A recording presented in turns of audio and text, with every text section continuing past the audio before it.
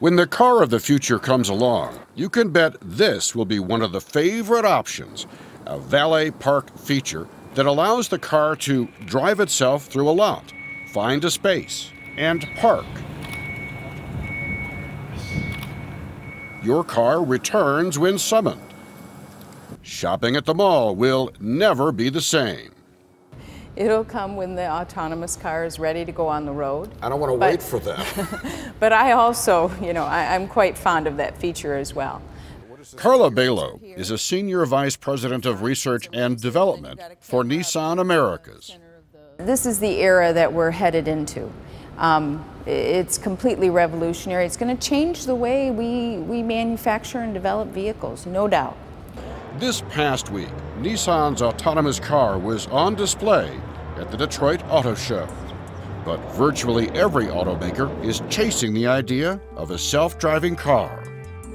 Mercedes is testing one on the streets of Germany.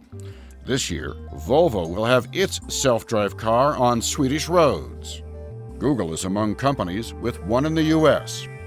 They're all racing to have a fully autonomous car for sale by the end of the decade an automobile revolution with one overriding goal. Safety. If, if your ultimate goal is zero fatalities, you have to have the cars uh, being able to manage themselves and get rid of the human element. fatalities. The, the final goal of autonomous should be zero.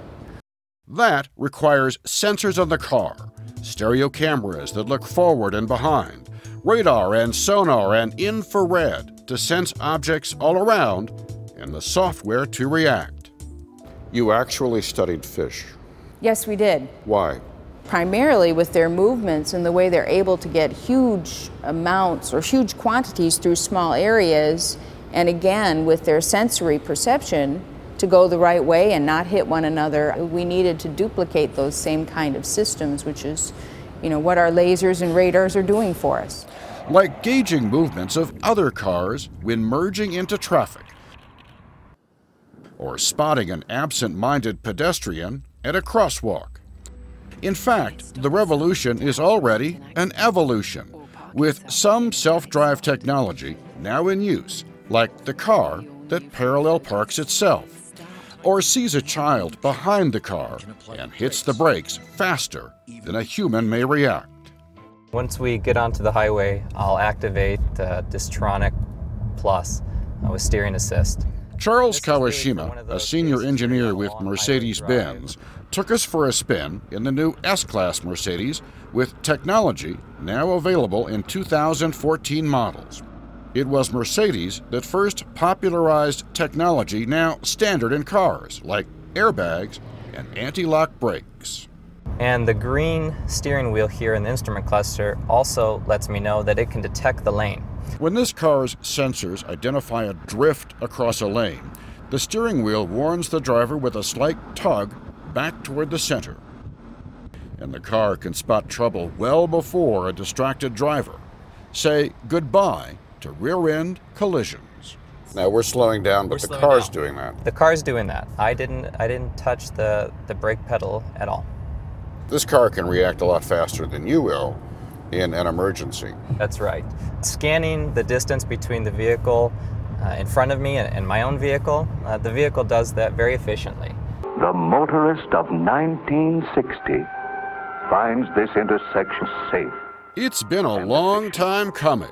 This General Motors display at the 1939 World's Fair drew lines two miles long to see self driving cars.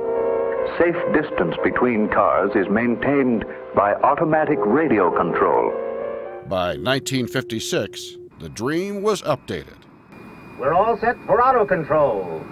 You're now under automatic control. Hands off steering. And the dreamers of that year saw it happening by, oh, 1976. Ah, this is the life. Safe, cool, comfortable. And when you feel comfortable, you can engage the lane following. I'm a little nervous about that. Okay. At General Motors Milford, Michigan Proving Ground, Jeremy Salinger let us take GM's real autonomous car for a spin. So I'm driving along. I've taken my hands off the steering wheel. Mm-hmm. What is the car seeing and sensing that lets it do this? So the car has a camera that is looking at the lane markers. It sees that there's a solid lane marker on the left, dash lane markers on the right. It knows that it's supposed to stay in this in the lane, so it's going to follow those. But it isn't foolproof. The high-tech system, just like a driver, can be blinded by something as common as the sun reflecting off a rain-slick highway, obscuring the lane markers. When that happens, the seat vibrates, warning the driver to take back control. And let's put Salinger in the skeptics column. There's a lot more technology needed and years of testing before a self-driving car hits a showroom near you.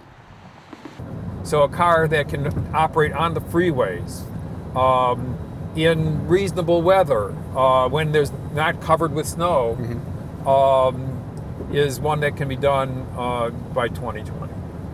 So, but that still requires that it's going to be uh, not fully autonomous because it will still need the driver to pay attention and intervene in some situations. So I'm not fired yet. Not yet. The word drive is a word without a future. This is as much a change to transportation as the original automobile was when we had horses.